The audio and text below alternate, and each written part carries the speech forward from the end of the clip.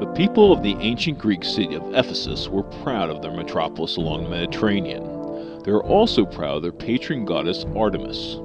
Artemis was the goddess of fertility, and the Ephesians built a series of temples to her, each one more impressive than the one before.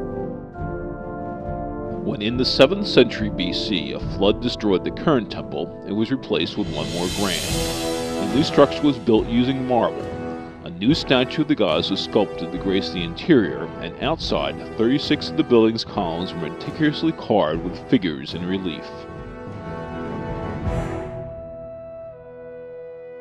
Unfortunately, a young man decided to make himself famous by the temple's destruction.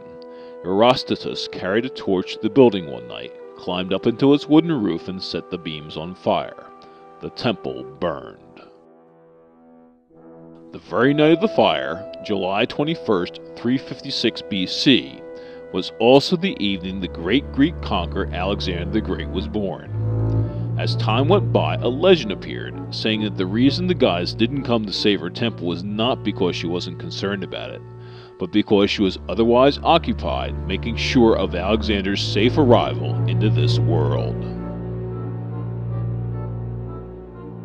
The next morning, the citizens of Ephesus stood before the smoldering ruins.